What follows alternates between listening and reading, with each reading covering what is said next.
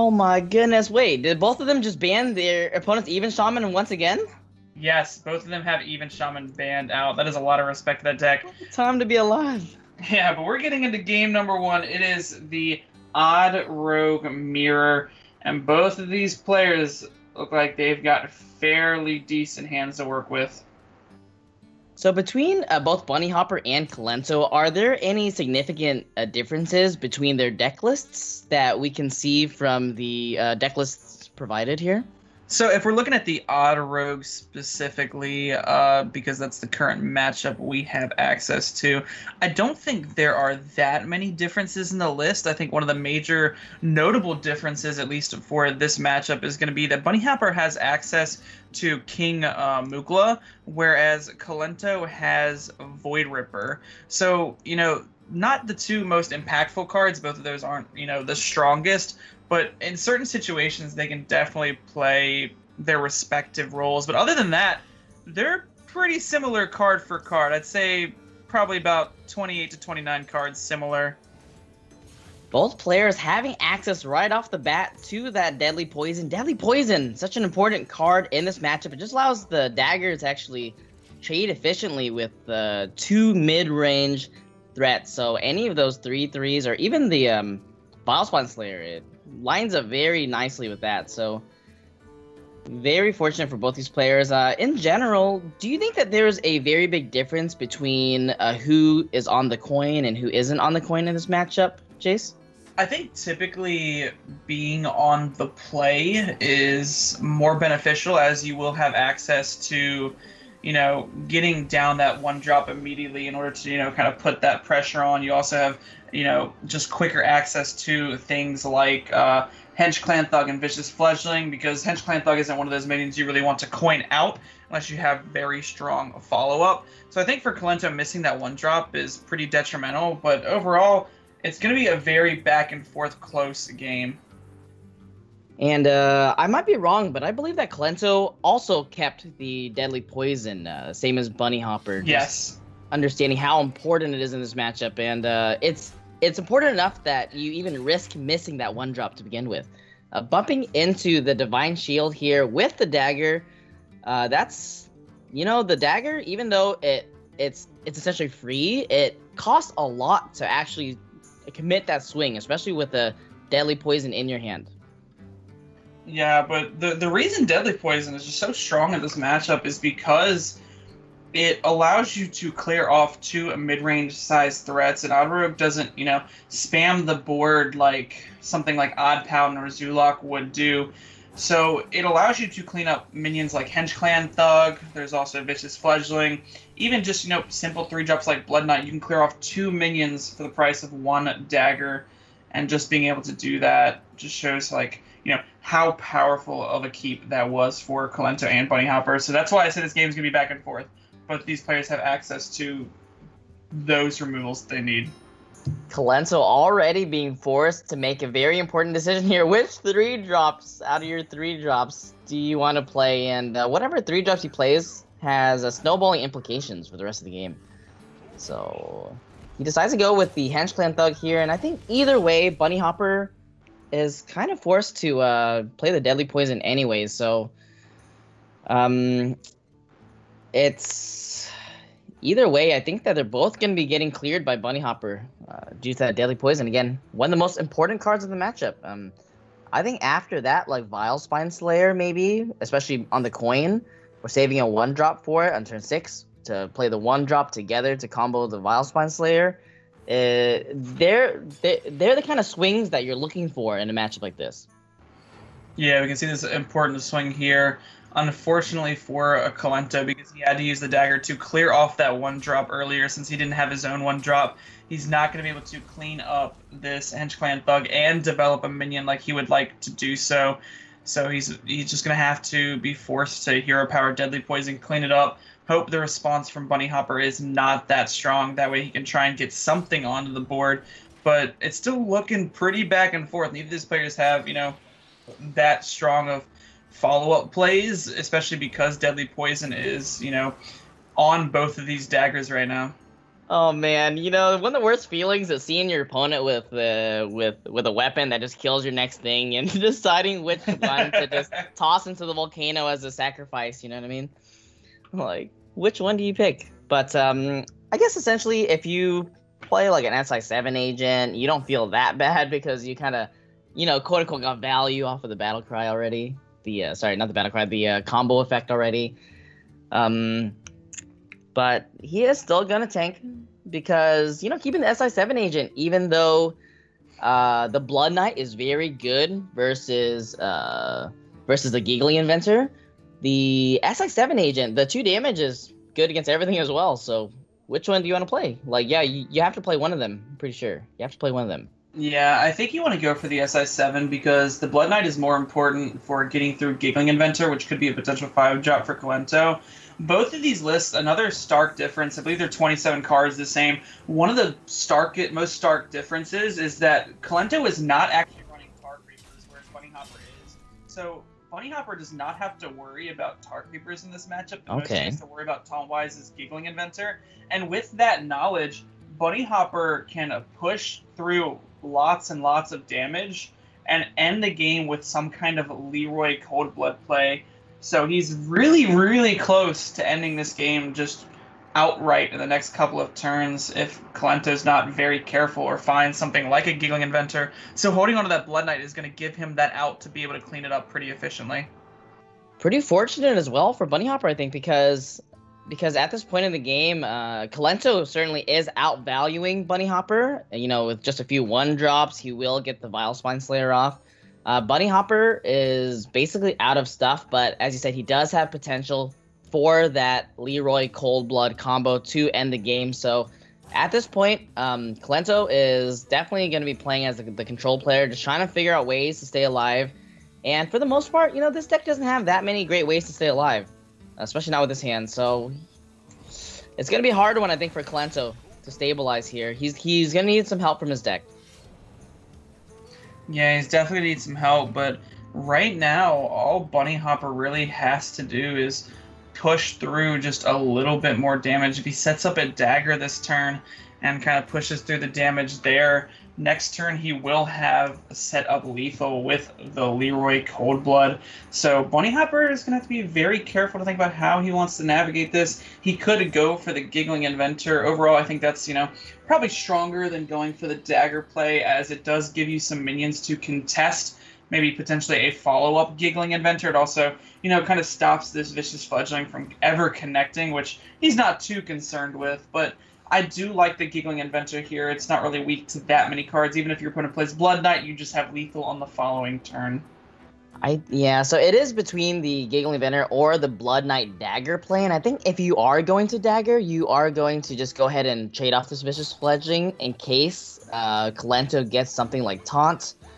Uh, but yeah, so he's gonna go ahead and go with the Giggling Inventor.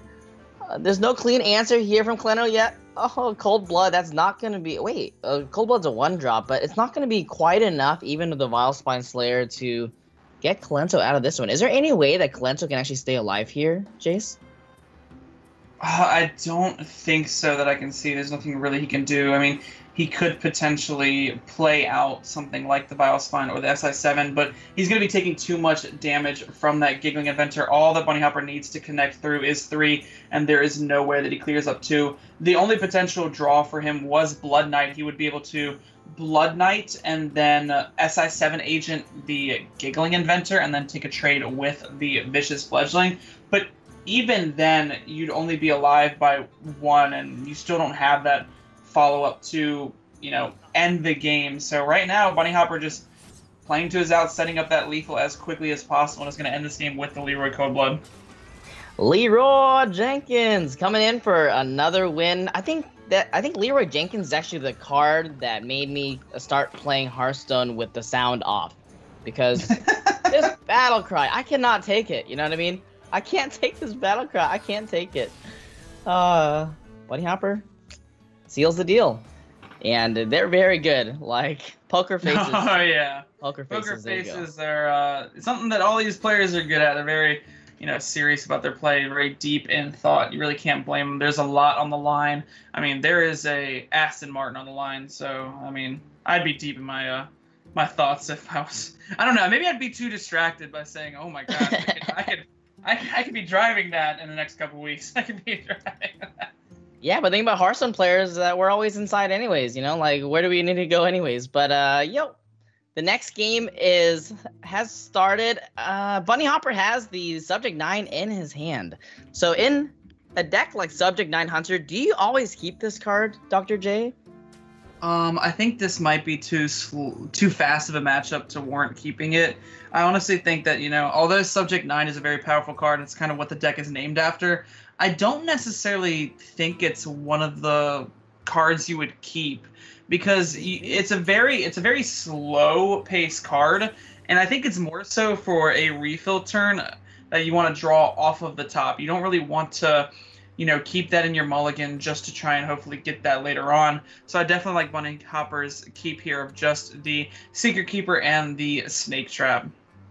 Wow, a very nice start here for both players. I think it's a little bit easier for the Odd Rogue to have a better start, you know, like just some sort of one drop into either the dagger or coin out of three is very nice.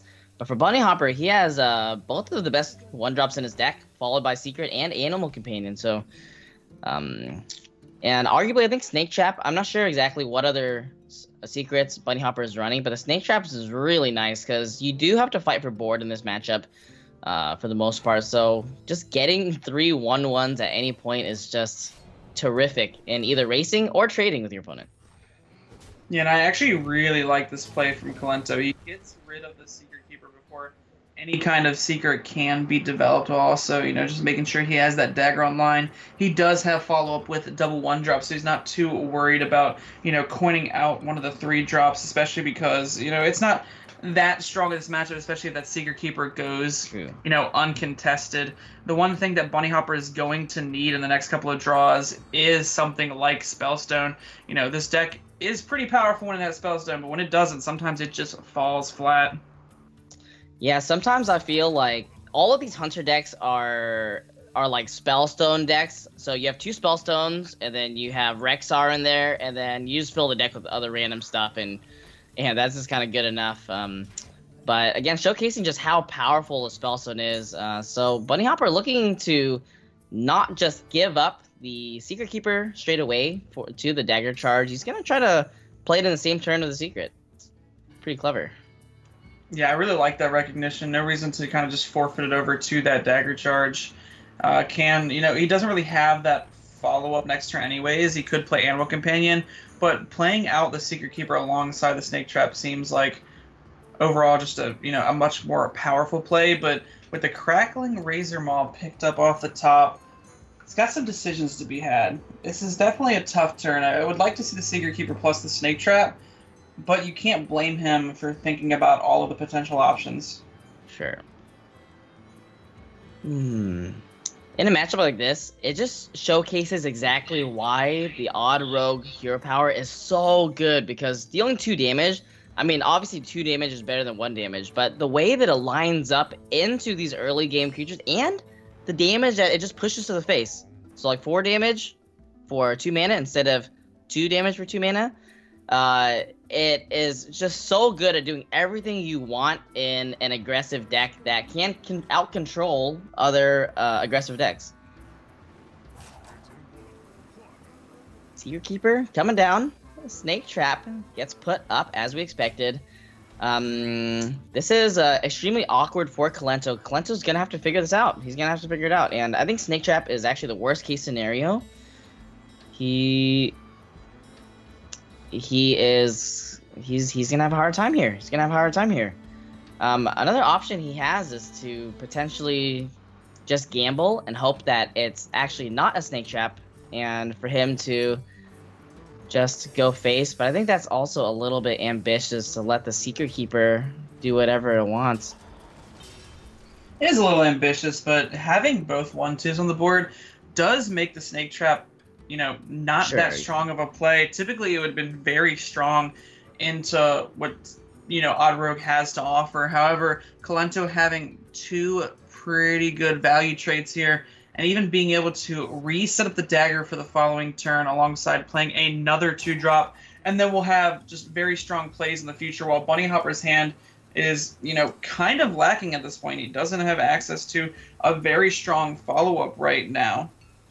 Yeah, this is, this is a game deciding play already here. And I it looks like Kolento. Oh, man. Is Kolento Oh man, so Kolento's gonna opt to uh, go for the South Sea deckhand and probably the SI7 next turn. Um, here he's hoping to not see another secret plus a plus a good play alongside that secret.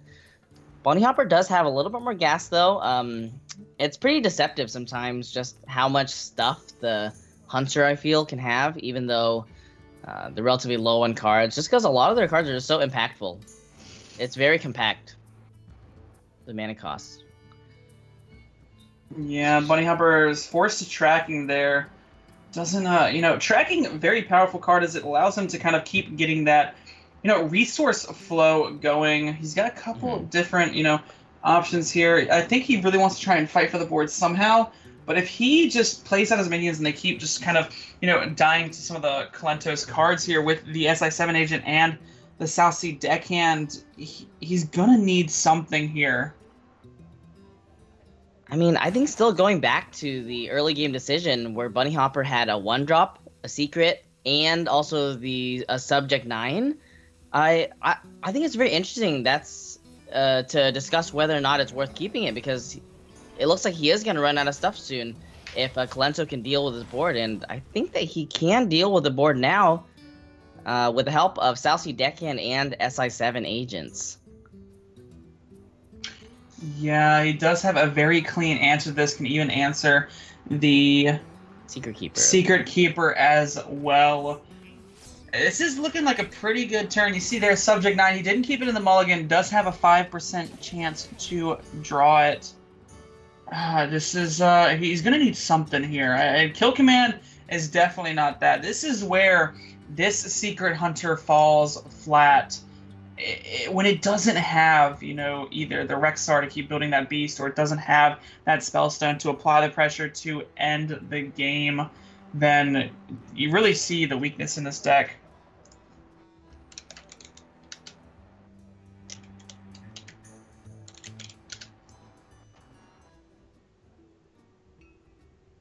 Not many decisions here to be had from Bunny Hopper.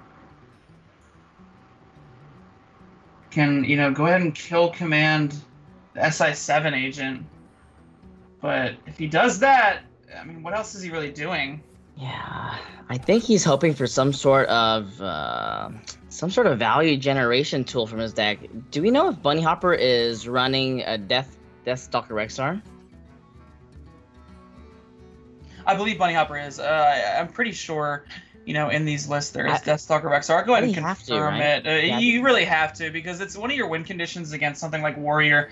I'd say Warrior isn't, you know, brought too too much, but it, it's brought enough that you'd have to, con- you know, consider playing. It. It's also just a very powerful card overall and what it can yeah. do in certain matchups. So I think something like a Deathstalker Rexxar coming off the top is gonna be the start to come back, but again, it's gonna be very hard because even though Deathstalker Rexxar is very good, if you don't get a very uh, valuable consecration effect off of Rexxar's battle cry, then it's going to be a lot of mana being sunk into finding uh, stuff that is uh, normally costed because all of the be- beasts that you build, they're you have to pay the full value for all of them. And in addition to the hero power, in addition to the six mana of the Rexxar plays, it's very slow, especially versus an aggressive deck that is always pressing the issue every single turn. So here, Hound Master, the Hound Master Shaw off the top, he does have the ability to rush it with the um the Cackling Razor Maw, but it's not that valuable. And then the 6-6 gets a very clean trade into the Shaw. So not exactly what he's looking for, but he's trying to figure out how he can play to his outs. Yeah, there's not really much that he can do here. He's gonna really need something. He sets up the explosives just to try and, you know, take away a little bit of the pressure here from those one ones. Obviously, you know, they're not presenting too large of a threat, but he needs to, you know, mitigate the board state somehow. I mean, right now he's really relying on finding something like Deathstalker Rexxar. He's at a pretty healthy life total, but that is just going to get chipped away turn after turn if he doesn't find, you know, something here. I think even tracking is kind of a, you know, just something to keep himself going. I, I can't stress how much, I can't stress enough how important it is to, you know, find that gas, especially in a deck where there's not much gas to be had. Yeah. Well, a very good board here for Kolento. Three insanely scary threats that have to all be dealt with at the same time with, um, you know, a charging 3-3 at your disposal. Um, well, he does have the opportunity to roll the Animal Companion. Uh, if it is a Huffer, okay, so he has a chance to charge that in if he wants with the Shaw, but really the best thing that he can do is a value trade on the 3-3. You don't really just want to take a single trade just because all of these things are pretty threatening, but then the 4-1 just gets traded off to by the dagger. It's it's just it's just not looking very good for Bunny Hopper. Um Yeah, it's looking really rough right now for Bunny Hopper. I think he has to go for this value trade because he can't really afford for that vicious fledgling to connect. But there is so much damage coming from the other side. Uh, the question is, how much does uh, Kolento respect this Houndmaster Shaw? Is he just going to go ahead and ignore it, try and push as much damage as quickly as possible, or does he have, you know, just that big of a respect for it to answer it now? That way, you know, it doesn't kind of reset the board state. Yeah, I think that one of the ways I guess your opponent comes back is going to be some sort of random shot thing. I don't know what that random shot thing is because uh, I don't think two charging, uh, you know, minions from Bunny Hopper side is really going to do the trick either. But it's such a clean value trade with the six four that I'll I'll be very surprised if Kolento doesn't just take it. Um, there is the punish of the Deathstalker Rexxar coming down though, um, clearing up the the uh, Blood Knight if he does go with the value trade. But oh, he reaches for the he reaches for the Void Ripper. Okay, so what's the Void Ripper going to be doing here? Oh, the Void Ripper in conjunction with the dagger and the deadly poison can actually make him allow him to face tank the uh, Shaw instead. Wow, that's quite clever. Yeah, very clever play coming out from Kolento. He found a way to respect it. The only thing this doesn't allow him to do is, you know, have that strong of an answer for, say, some kind of large minion that Bunny Hopper can present. But he understands that right now, you know, this Subject 9 Hunter doesn't really have any large minions to present. So this Vile Spine, the most it's probably going to do is potentially get through some kind of taunt. So for Bunny Hopper here, he does rip the uh, Subject 9 off the top, and if he does, so he's going to pull a Wandering Monster as well. Is there any sort of Wandering Monster random uh, three mana minion that can save Bunny Hopper here? Is there anything in the game? There's got to be something, right? There's always something three drop that would be fairly strong. I, I guess there is the defender, I believe is what Yeah, it's the called. 2/8, The uh-huh. the three mana two eight, but even then, you know, it's not really uh it's not really getting you anywhere. Right now, Kolento through Wandering Monster is two off lethal. I mean, could be uh is Backstreet Leper still in the rotation? I completely forgot about that card. I don't think it is. So uh, I think Kolento, what he's worried about right now is that he either face tanks this damage or he commits the 3 3, and it's some kind of minion that gives Bunny Hopper enough burn to potentially end the game with hero powers. I think that's what Kolento is worried about right now and why he thought so long on the dagger swing. And he goes for it. He goes ahead and hits his face with a Cave Hydra coming off uh, coming off the Wandering Monster. That is not going to be doing. A two attack uh, minion is the best case scenario probably for Kolento. Something with, without Divine Shield, something that doesn't have a, a lingering effect, something that he doesn't have to sink more damage into. Um, and again, as you said, he's just looking for a way to not die here while uh, while just continuing to threaten the board. Yeah, he also needed to play out that uh, Vile Spine just in case there were something like Deathstalker Rexxar into uh, some kind of potential threat. looks like that's uh, that's not going to be enough for Bunny Hopper there, and Kolento is going to tie up the series one to one. And that just goes to show you how finicky sometimes that secret hunter, you know, that subject nine hunter is. And also, that game was, you know, a lot closer than I expected from the opening hands. Um, Hunter just being able to deal so much damage, just random damage over the course of the game that oftentimes you'll be in a situation like Kolento where you, you just see yourself sitting at 10 HP. Right now, it's looking like it's going to be Subject 9 Hunter versus uh, versus Zoolock, which I would say typically is fairly strong for the Subject 9 Hunter as it does have – you know, a lot of that early game removal tools. Mm-hmm. Oh man, you know this is a matchup that I don't see quite often. Just because this is a secret hunter, I actually don't see secret hunter quite often, that often.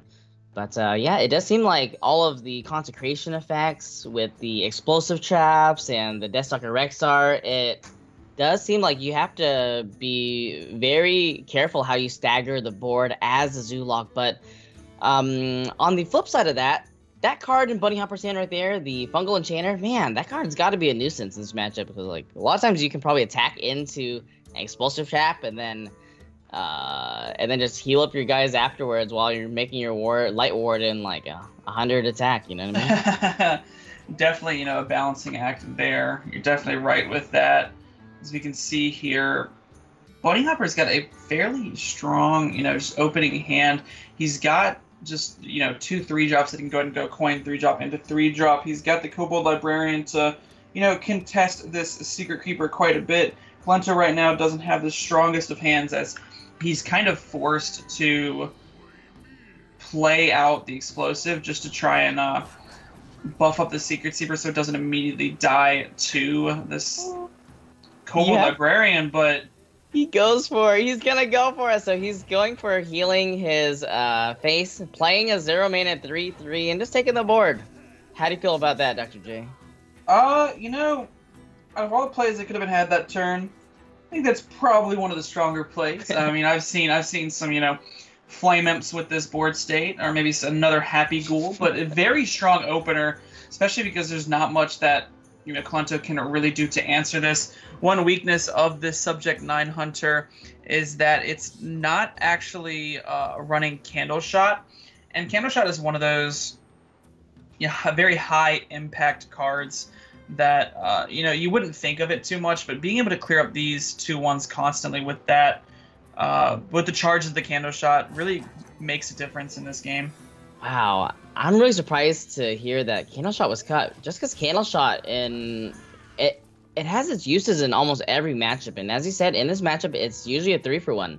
I mean, you, this is like the most value you can ever get out of a one mana card. But uh, the Secret Keeper growing to be a two three, taking a value trade is also pretty good. You know what I mean? He he got to double dip with uh, his one drop, so it's quite nice. But the downside to this is that he had to commit the explosive trap already, which you really want to save that to time it for when your opponent is, you know, like pretty wide on the board, having a lot of small stuff. But um, you know, Bunny Hopper might not expect an explosive trap coming out this early. Yeah, so the reason, you know, Kolento really took that value trade was just to, you know, mitigate some of that, you know, board damage. And right now we see Bunny Hopper trying to play around the secrets by taking that value trade there it's definitely a tough call because Kolento really thought about whether to play the uh, explosive trap or not because he's trying to do some mind game shenanigans against Bunny Hopper, where if he plays the explosive trap, he forces Bunny Hopper to play around these secrets secrets very awkwardly, and we see there that he played around them so awkwardly that he left both of these minions to technically die to the explosive trap if it wasn't for the fungal enchanter. Uh, I mean, the thing about secrets from Hunter, it it always makes everything awkward, you know? Like it's awkward for your opponent, it's awkward for you because you don't want to play stuff into their minions because you want their minions to die from the explosive trap.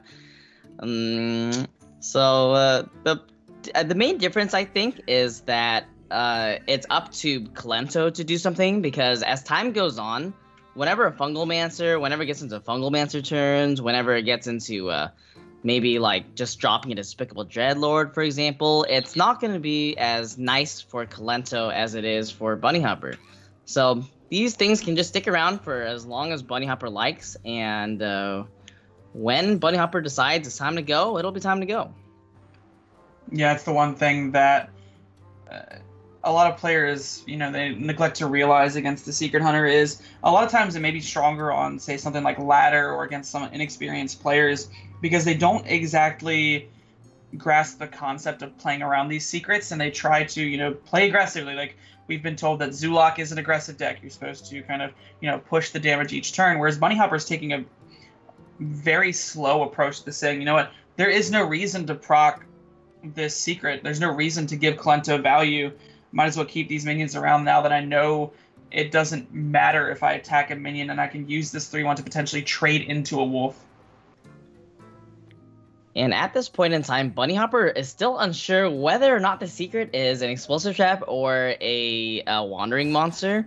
So uh, it's going to be interesting to see when exactly Bunny Hopper is interested in uh, procking the secret.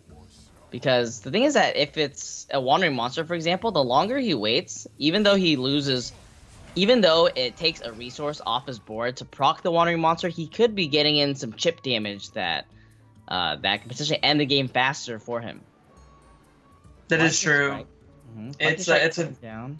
Yeah, it's a very very you know balancing act for Bunny Hopper here as he has to try and weigh out you know how strong is it to kind of leave up his minions. You're exactly right. And you know that just goes to show you how powerful of a player Bunny Hopper is, recognizing that you know he doesn't need to proc these. He can just kind of you know take his time, maybe even get that play you were talking about, where he plays the chain gang and then potentially procs it and plays a Light Warden plus Fungal Enchanter to make just a massive, massive Light Warden. But then everything changed when the Spellstone appeared. Spellstone, my goodness, the Spellstone. This card is ridiculous. I think that I would rate this as like one of the most powerful Hearthstone cards ever printed, ever digitally printed. Um, because even though, as you said before, Bunny Hopper could you know kind of play it slow, now he has to move a little bit because uh, the Spellstone's coming. But oh my gosh, a Mossy Horror coming off the top as well. So next turn he has that available, bar a Fungalmancer coming down to change the size of uh, these minions. Yeah, Kolento's gonna be very wary of that fungal mancer because if fungal mancer lands on the you know just any kind of board state that is you know there's a reason why it's played in the deck. It is a very powerful card when played on curve and we can see it right now in bunny hopper's hand. Kolento, you know he could commit to the spellstone here but it's only giving him two wolves. And the worst part about that is these wolves just kind of die to the tar creeper. They can't even really get through the tar creeper that efficiently is that two wolves or is that actually three wolves? It's just two. It's oh, just, just, two wolves. Two. Okay. Oh man. And also, if you play the wolves, uh, Bunny Hopper had some pretty clean trades with a Despicable Dreadlord coming down, uh, trading off the Voodoo Doctor into one of those, killing off the residual three one. So Kolento choosing to play around that, and uh, this seems to be a much better outcome for Kolento than playing the Spellstone for a measly two wolves. Okay, Bunny Hopper a lot of decisions here.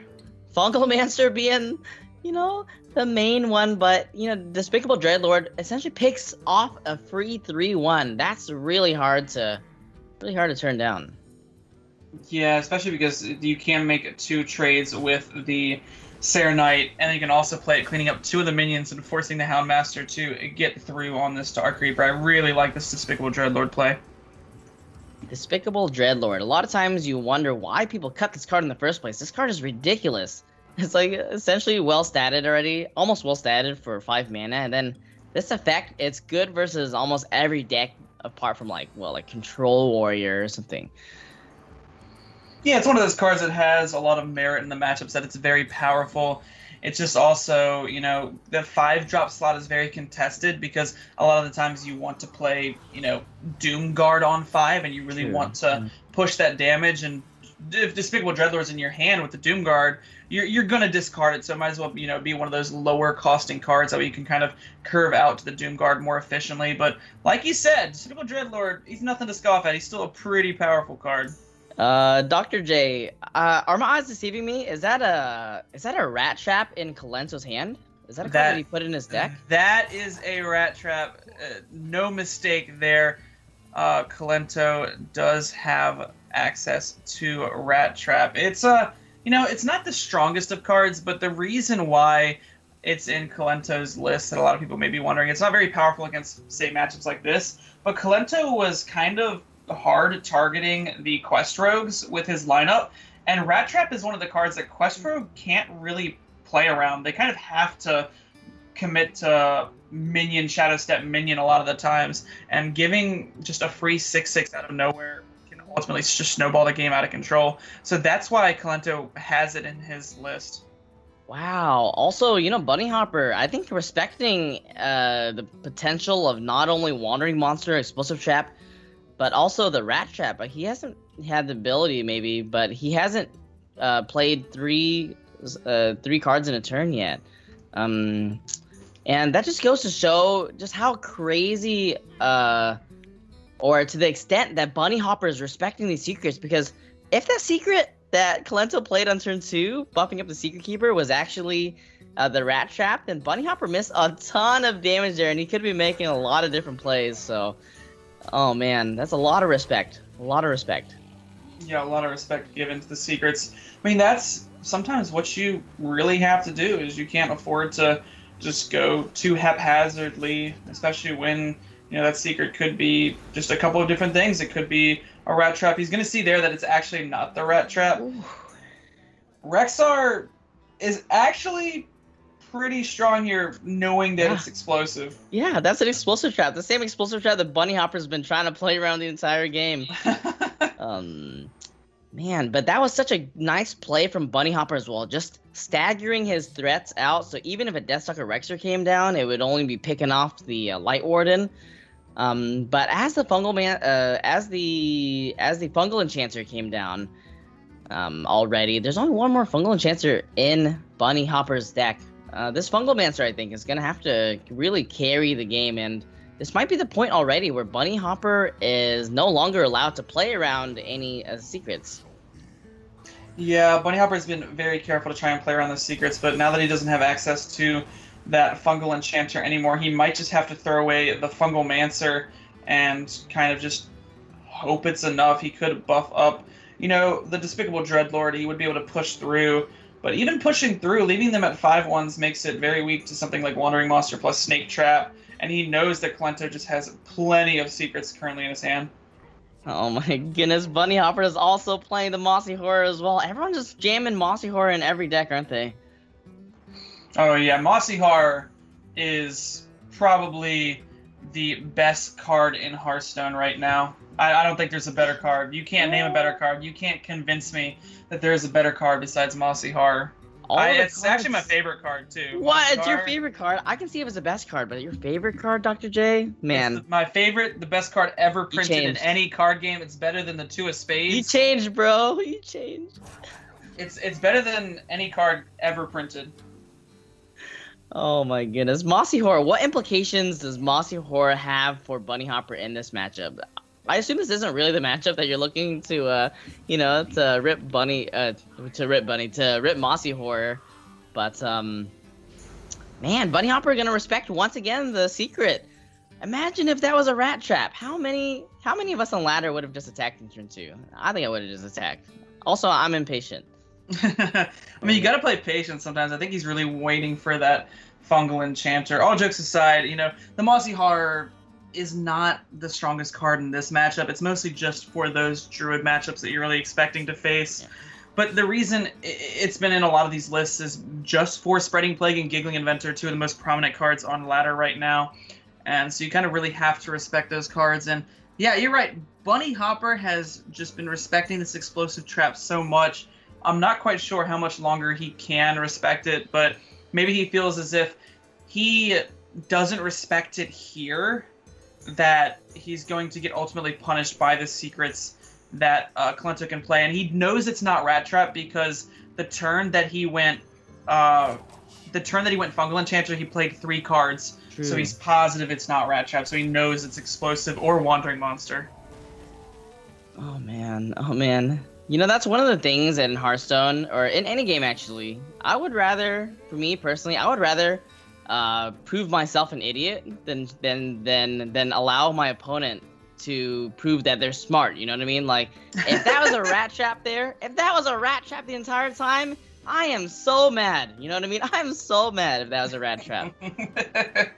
it's like that. Uh, have you ever uh, have you ever missed lethal with like some you know just one of the cards, and instead of you know just playing that card the following turn, you decided to hold it for the rest of the game Yes. and try and win without it? That's Yes. that's that's definitely what happens Uh, sometimes. I've I've even lost a game uh, refusing to play that card for lethal and just taking the loss. You know what I mean? Like I'll walk away. I'll take this to my grave. Well, not anymore, but um, you, know, you gotta do what you gotta do. But Bunny Hopper, he, you know, the the the subject nine came down, so Kolento does have access to all of his secrets. So Bunny Hopper, I think it's just getting harder for him now. Nothing's getting easier. It's, it's just all uphill from here. Wait, I all downhill. Yeah, yeah. yeah, I really think he's looking for that second fungal enchanter. He finally finds it, and I would not be surprised if now he pushes face damage. I, And I he think wants- he's well, maybe not this select Yeah. turn, but he's definitely going to want to use that to be able to push through and push through a lot of damage on the follow up. That's the card he's been looking for this entire time. That or maybe potentially voodoo doctors to kind of get these minions out of range. True. Or there's also, I guess, the isn't there a second fungal mancer as well? I think there's a second fungal mancer in I the believe deck. there's a second fungal mancer as well, so that is another card he'll be looking for. Man, this is the smartest Zoolock game I've ever seen in my life. This is a this is what happens when Zoolock is put into the hands of a guy with a PhD. yeah, this is um it's not just all about going face, but you see Kolento he's gonna try and, you know, mitigate some of this. I think Kolento recognizes what Bunny Hopper's game plan is, is gonna try and put a stop to that as much as possible and now contest the board state. Because right now, Kolento I, I don't think Kolento minds that much if Bunny Hopper just kinda sits there and does nothing. True, yeah. And you know what? Christmas is right around the corner. This year passed by so quickly, and um, well, Christmas came a little bit early for Kolento this year.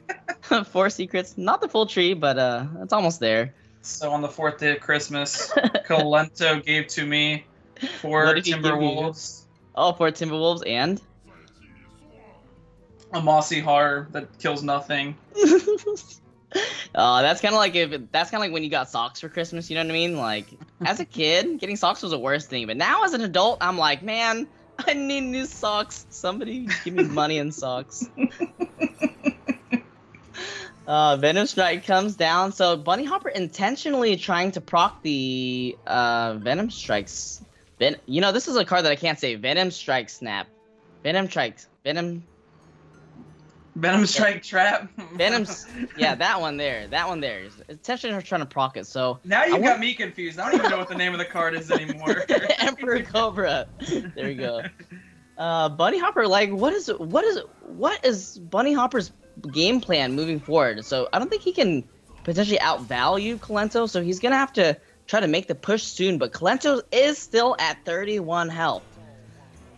Whew. And I think there's about to be some uh, Mossy Horror on Mossy Horror action here. yeah, this is the OG Mossy Horror and the uh, Stampeding Kodo. uh, I'm not quite sure what the other beast is with it. It's going to be something with four mana. I wouldn't be surprised if it's something like Oasis Snapjaw, just something very large to get played out. Uh, I'm actually not quite sure which one it is. Can go ahead and tracking first. Kolento's not too worried about fatigue as he's just trying to end this game as quickly as possible. I think it's actually the 2-6 taunt, the 2-6 taunt. Whatever that Oh, the Stegodon, yes. And so there you see just uh, such a powerful minion. Zoo has no real way to deal with, you know, something as large as this. This is where on ladder your opponent would just rip the Black Knight off the top. it's like, no, what are you doing to the Black Knight in your deck? Yeah, but here Bunny Hopper's gonna have to get through that. So the uh, Kolento's essentially at what? He's at 42 health here. That is a lot of health. Yeah, I'm a little curious to think if Bunny Hopper may have respected that secret a bit too Yeah. much. I think that's the big thing to look at back on for this game is did Bunny Hopper show just way too much respect to that explosive trap, whereas maybe he should have procced it earlier to try and then amount some kind of board state. It's a very difficult call to make and very difficult to kind of see those plays, but it's something to really go back and look on. Yeah, definitely. Because I think over the course of the game, how much damage must he have missed um, from like attacking? It must have been at least like 20 damage, I think. Just from just just from chilling up until turn eight or something. I mean, Bunny Hopper has done so much damage to himself. It's yeah. oh yep, double kill command is lethal with the beast on board, but Bunny Hopper just kind of you know helped Kolento out so much that game. I think Bunny Hopper did 20 of the 30 damage there. Oh. Oh my goodness. You know that sometimes when you're too smart, you know, you like you know when you're too smart for your own good. I think that was one of those games. Like, man, that was so intelligent, and I really bought into it too. I was like, wow, that's really gonna pay off for him not attacking. But now looking back, I'm like, yo, just hit face, dude. yeah, I wonder if there was a bit too much respect. I, I, saw what Bunny Hopper's plan was. He really wanted to draw into that second Fungal Enchanter, and then maybe be able to push like 15 damage in one turn to end the game in two turns before Kolento could really amount any kind of pressure. But it ended up kind of backfiring because he didn't really get to the Fungal Enchanter that quickly. And I think Spell Hunter is one of the most confusing decks just because sometimes you're like just killing them on turn four with kill command. Sometimes you're outlasting the control warriors. Uh, and sometimes you're just playing a mid range game where you look like you're control, then all of a sudden you rip the second kill command off the top and they're dead. Yeah, there's not really uh, much you can do about that. And it goes to show you why you know Hunter is very powerful in that matchup as it does have a lot of the tools and maybe you know maybe a little bit too much respect was given and you know gave Kolento just kind of some breathing room. It's gonna be interesting to see how Kolento's final deck, the Odd Paladin, performs. That's not a deck we've seen too much. Or have you been playing the Odd Paladin that much lately, or is you know is it just a deck of the past that's being brought back again? Sure. Mm-hmm. Uh, Odd Paladin, definitely one of those go-to decks just for uh, just for how high the power level is without much thought needed I, to like uh, you know to be used in order to play it on ladder for example. But um, definitely an interesting deck as well. Another one of those decks another one of those aggro decks that just can play control uh, if necessary. You know what i mean? Like the hero power is the hero power of the Justicar uh, level up back then in the past, the mid-range paladins used to use outvalue control warriors. So uh, in that sense, the hero power can uh, be used in many different ways. In this matchup, however, um, you basically just don't want to get wrecked by Dreadlord. I think that's your main that's your main uh, goal. Yeah, and typically in the past, there or at least in most recent times, Odd Paladin has fallen off so much in favor of other decks and other classes that the Zoolocks have been dropping the Dreadlords because they don't feel as if they really need that minion anymore. But Bunny Hopper actually said, you know what, I think he, th- he thought Odd was going to probably be very prominent in these deck lists. So he actually put two of the Dreadlords in, which is just going to be a huge benefit for him in this particular matchup. It's going to be interesting to see, you know, how that pans out. Typically in the past, I've been told that Zoolock is, you know, fairly favored overall as it does have like one threes and Void Walker. It does have very good value trades along with healing minions back up to constantly make those value trades. As we see, you know, just a prime example in this hand here, you can go ahead and play a bunch of one drops, take some value trades on the minions, and just keep healing them up and taking more. Yeah, it's just how funny how big a Void Walker is compared to the one ones from the uh, odd from the Odd Pally because uh, you know, like compared to those one ones, the, the Void Walker is like a sog off the Slitherer. It's gigantic. You're you're hitting so many things into. You're hitting like one and a half turns worth of uh, hero powers into that thing, while your opponent's developing some very efficient threats uh, behind it. So very hard to pilot for sure. Kolento already being faced with the first decision of the game. He has two one drops to play, or he has the potential to coin out a hero power here, making two one ones, making use of that hero power. Yeah, you could do that. I think he's much uh, stronger off by playing out as many cards as possible. Oh. I really like this play from Kolento because he saw that uh, Bunny Hopper uh, kept two, and one of them being a Flame Imp if he's tracking the hand. So he's most likely going to assume that the other one kept is something like a Voodoo Doctor because if you kept something like, uh, say, the Void Walker, you would most likely play that on one or even if it was kept and you played the Flame Imp first and Voidwalker was picked up, mm-hmm. you'd be able to kind of, you know, hero pound the following turn and get through a lot of it. So I really like the recognition and going as wide as possible, as quickly as possible, trying to make sure that Kolento has this board state. I think that was a very strong play. He's also got Corridor Creeper, which is just another reason. Man, I mean, Kolento's got to be so experienced in this matchup just because the implications of coining out the hero power instead, you get to keep an Argent Squire for later, but you get in one extra hero power. Uh, sorry, the other way around. So you get to get one extra hero power and keep the uh, Squire for later. But he thinks that instead of getting the extra hero power value, I actually want to just get on the board as fast as possible, put down the Divine Shield, set it for potentially the raid leader on three, and uh, just take a very strong grasp on the board, leverage it with my corridor creeper, and that's how I win the game, not by value.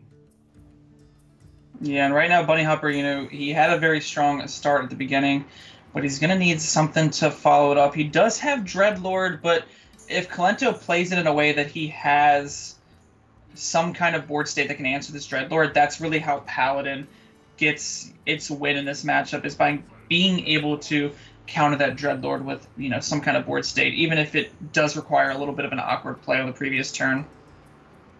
Yeah, and good good paladin players will always will always uh, try to shape their board in a way that it doesn't die to the on curve dreadlord. Like later on in the game, um, as long as not all of your debts dry die to a dreadlord, it does cost five mana to commit to the board. So, um, it is definitely worth playing around it, and I think it's very possible. And here it looks like Bunny Hopper actually is he does have the board, but it's not as strong of a board as he would hope. Luckily, he didn't have to life tap here because I think the moment you life tap, you're you're falling behind a lot on the board versus an odd paladin.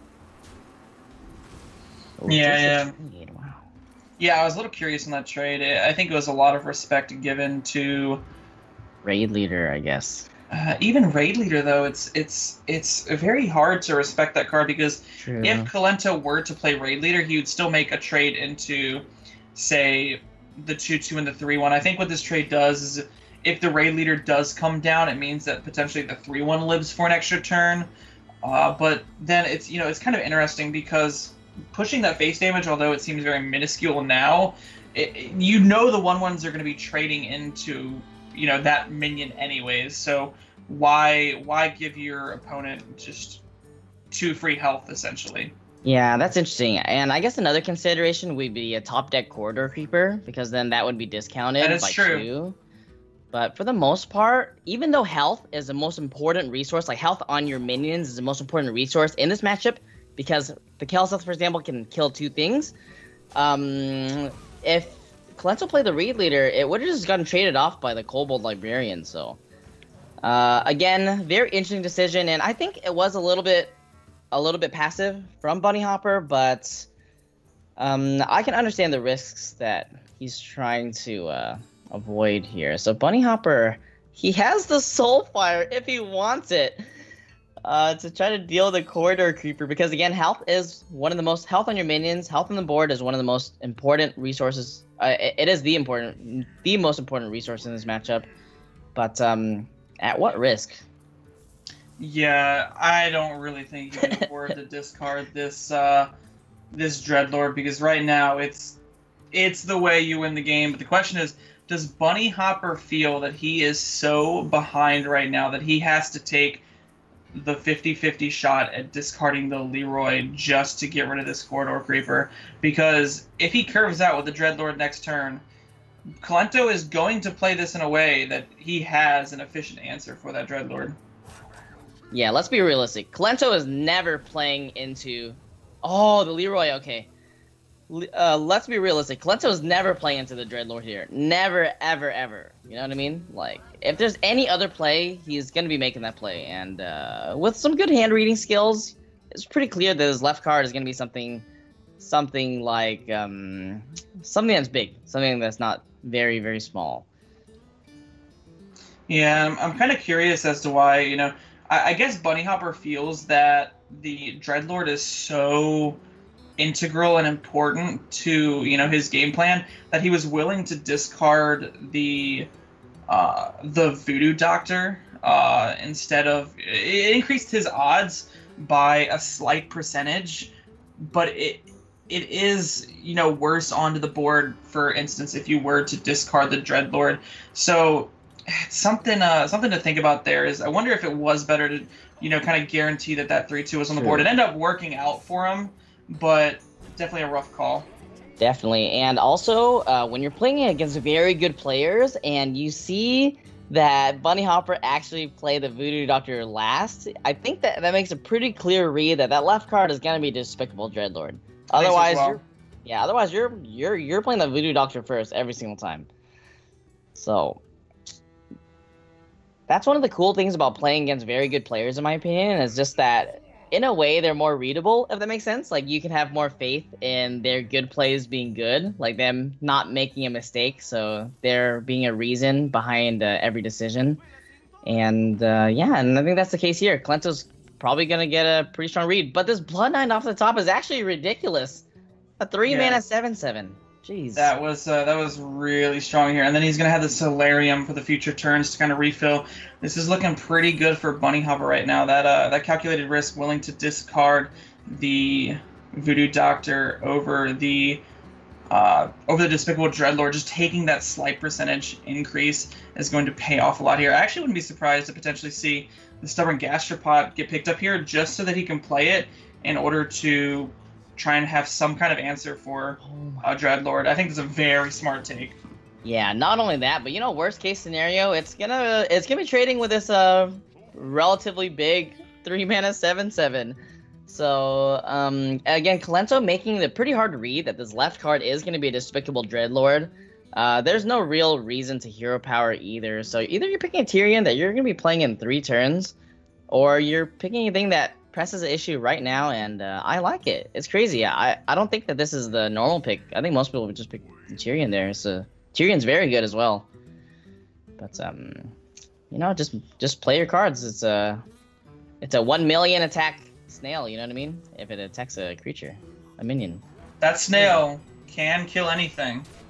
Unless it's silenced, then it can only kill one ones. But that snail, when not silenced, kills just about everything. Mm. Is this Alexander the Great of the no? I think I think we're way off that topic right now. We need to we need to leave it in the past. okay. So a really good pickup there by Bunny Hopper. The Chain Gang, of course, the Chain Gang, whenever it's buffed, is just ridiculous. But here particularly, he gets to protect his uh, Blood Knight from uh, getting wrecked by the snail. Uh, Kolento has some interesting decisions here. I think that this is about the time that you're gonna pick up a big boy. What do you think here? Um, the small thing is kind of repetitive since you have already like an like a squire in your hand. So I assume that he's thinking about uh, which of the two big drops he wants, and he seems to value the battle cry of the primordial drake over the uh, the the 412 dragon, the sleepy dragon. Yeah, it's also that the primordial drake does come down a turn quicker, and yeah. I think that's what Clint is really looking for here. Is because if he waits too long, knowing that Despicable Dreadlord is right around the horizon, if he waits too long on trying to play something, he could fall too far behind. This is interesting that he doesn't attack in here. Um, obviously, it's not great to sacrifice your raid leader, use your raid leader as just a two attack minion, but did Kolento not make the hard read that this left card here is uh, Dreadlord? I mean, I guess it could also be like Soularium or something like that, Fungal Mancer, maybe even. It's definitely hmm. a close call. He's uh there there, there is uh some merit to putting that minion in just to kind of play around that, especially if you think it's uh going to be Dreadlord. And maybe uh Kolento's trying to bait the Dreadlord out. But even that seems quite ambitious. Uh, I'm down to take the I, yo, I'm down to bite, you know what I mean? Like I'm down yeah. to bite here. That seems great to me. Oh, he attacks with a Blood Knight instead of the Saronite Chain Gang, even though the Chain Gang was pretty clean. Valuing, valuing his Chain Gang as a 3-3. What differences does a 3-3 make compared to so, a, a 3-4? The difference isn't that the it would be a it'd be a 3-2. The biggest difference here is the reason he went oh, for yeah, that, that trade is because of the Vine Cleaver that was just showed up to be a 10% draw out because if he were to take the trade onto the minion, this Argent Squire would go in, He would then kill off the taunt. The Vine Cleaver would then push through onto the Dreadlord, clearing up the Dreadlord and allowing the 1 1s to start getting played and getting Kolento back into this game. Whereas now, there's no real strong answer for the Dreadlord, and it's going to be able to clear up the hero power each turn. The thing about both of these decks is that it's so deceptive to what point who is outvaluing who. You know what I mean? Like right now, it's obviously a Bunny Hopper has the life tap. He has a lot more cards in hand. He has a Soularium, but Kolento has a lot of draws off the top to just put to uh, a, a, lot of draws that are so compact in value that just add that can just bring him back. So like cards, as you said, like Vine Cleaver, cards like um, Level Up 加三加一加一加一加三，对。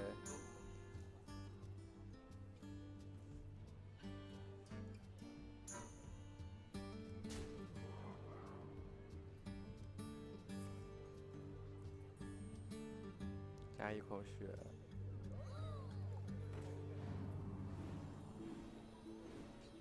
三个怪其实都要处理，就没什么办法了。就是你先出斩击刀，然后五四五你要解，然后七五的话又很疼，那旁边那个八三就更疼。嗯，已经没了呀，斩击刀。你没办法，你必须要先处理七五，就撞了砍七五，然后再出这个。对面长弓现在是长弓都 死了，看不懂了。长弓没了，只能速八死八。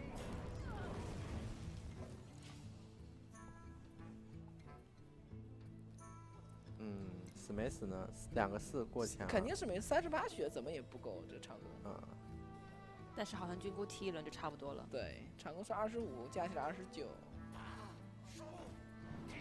先过一张。而且没什么用，抽那就甚至可以考虑不抽。我觉得可以考虑不抽。可以不抽了，真的可以不抽了。解一解，走脸，绞杀。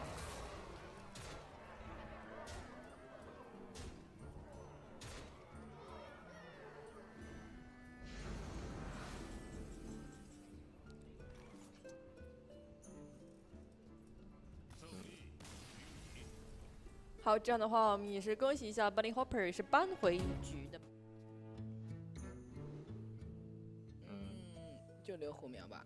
火苗。嗯，那上方呢？等级牺牲和那个军菇，我觉得是挺有用的，就是对于骑士。游荡要不要留呢？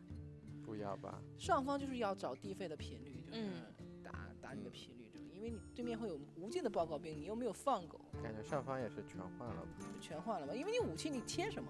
没什么好切的，其实你要想切的话，小怪。对，三一四，你说你能切什么？你就能切那个二二那个那个团队领袖，但是对面要是会玩一点，他就不会给你这种，最起码旁边得站一个医生，对吧？还有更多，我觉得这个猎人没有蜡烛弓，其实这种对局，我觉得蜡烛弓是很关键的。打频率的时候，蜡烛弓特别强。对他没有蜡烛弓，所以他的结场就很弱。我觉得全插了，哪怕你找宝石，我也能接受。下面等级支撑已经到手，那有四个比较关键的嘛？两个等级支撑，两个军。有那个游荡护理，呃，还可以，因为至少有一费。然后对这个猎人要求这么低，无人生还。那这个猎人是没有血骑士的，对，所以这里是不是可以毫不犹豫先出个一圣盾呢？嗯，他们怎么选。选择出火苗，就觉得打奥秘守护者或者是一一三的话，这个一圣盾都都没太大作用。但其实你手里有那个，那个什么祝福，力量祝福，力量祝福也还好，就是你贴上去撞上去，跟那个圣盾撞上去差不多。这个如果是贴力力量祝福撞一个一三的话，还剩其实差不多两边一样的，都都是都一样，都剩个一四一嘛。对。然后我觉得这样还能好一点，因为下回剩那个银色总打后面高攻击力的时候，还能稳定的起到一个撞两次的作用啊。有道理。加一下解了，这要解的，防止它进化。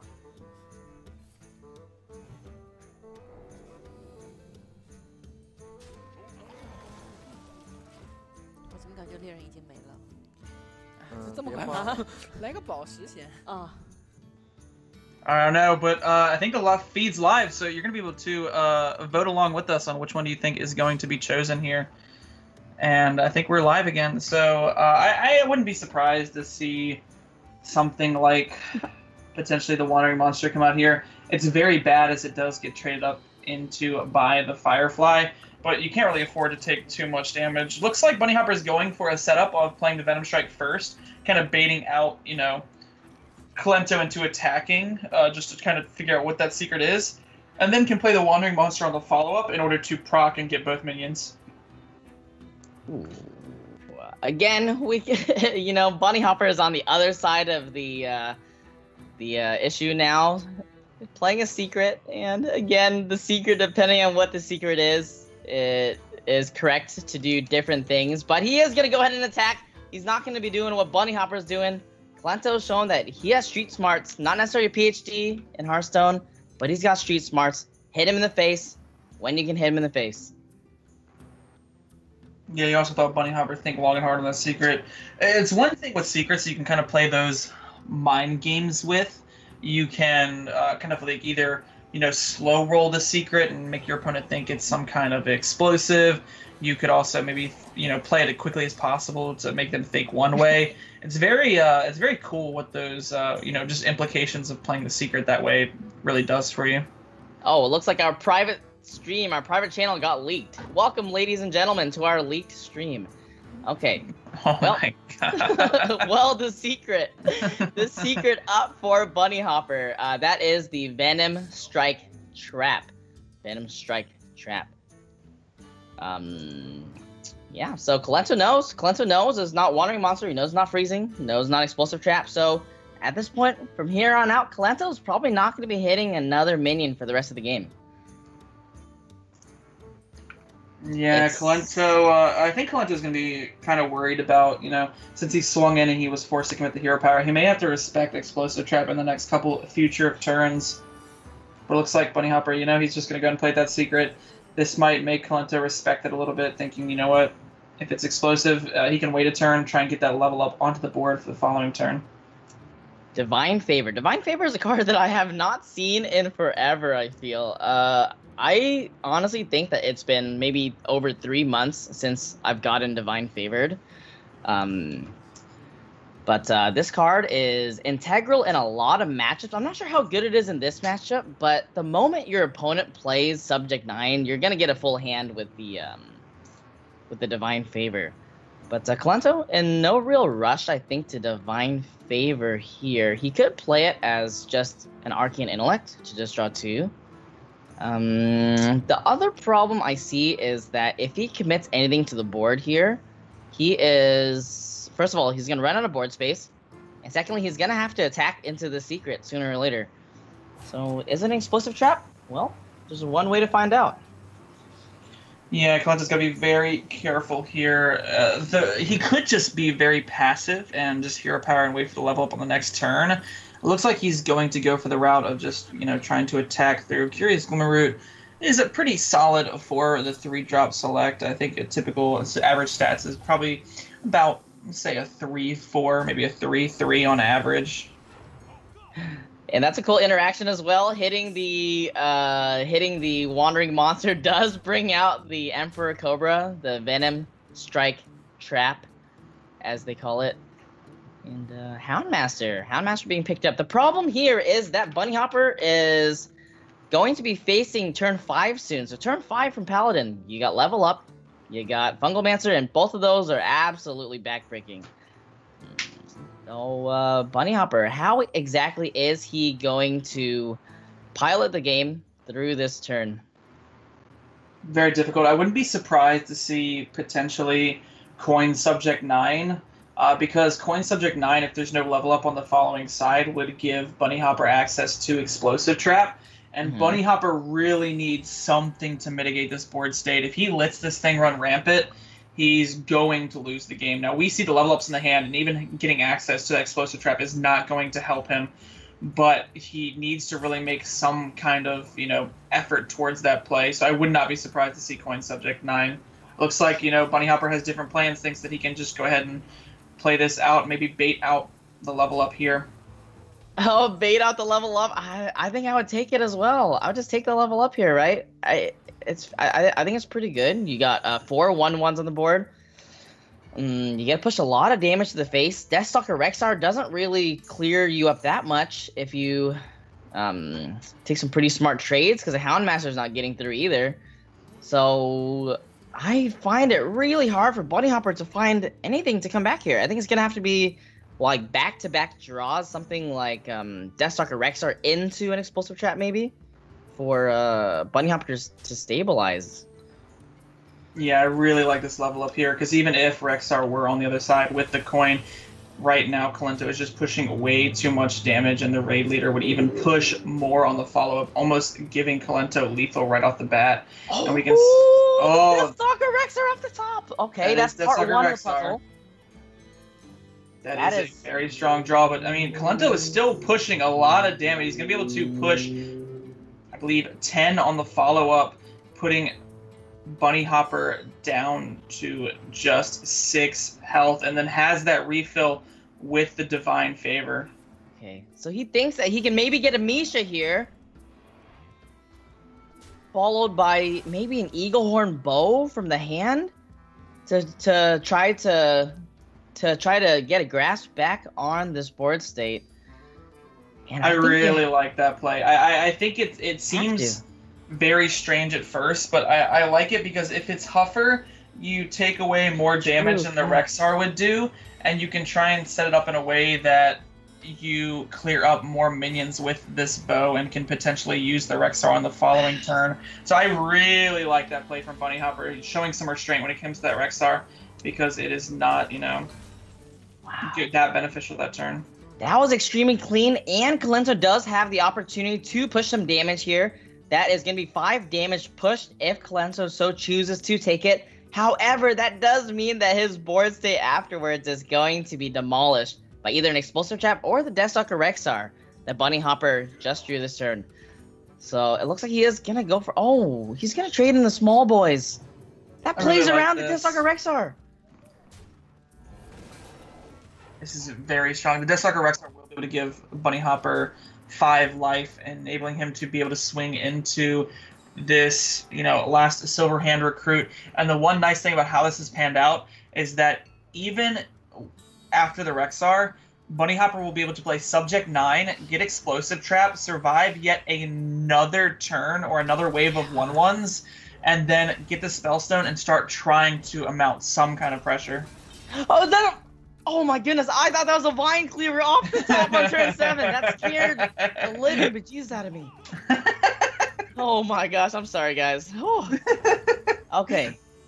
The uh, the Chinese production just, just trolled us with that one. We like you know, sometimes when the card comes off the top and you slam it so fast that the size of the card changes. Oh, I thought that's what happened. That terrified me. Kolento, he's in a rough spot, as he said. Wait a second. Bunny Hopper's guaranteed to get explosive trap, right? Guaranteed to get it. he is. I, I'm actually a little curious as to why Kolento didn't go for the Righteous Protector. Because if the Righteous Protector was alive, it would actually give an out to uh, Divine Favor into Blessed Maul, and Blessed Maul could find the Attack. Uh, attack. Is there something I'm missing here? Maybe there is no explosive, and I'm just, you know, not thinking about this straight. Was explosive played earlier, and we're just No, forgetting it about it? Wasn't no. Whoa! So he just really doesn't have explosive trap in his deck. Oh my goodness! I guess that Is makes that sense. Is that what it is? I, I think that's no. There is an explosive trap in the list. I mean, maybe it was played earlier, and we are just neglecting Oh. to remember it because we got so excited. I don't think it was played. I don't think it was played earlier. Are you sure? I just don't remember. I have a hard time imagining a, a, a turn where explosive would have been played, but Kolento wins, and all of his fans watching here in the stream. I hope you guys enjoyed watching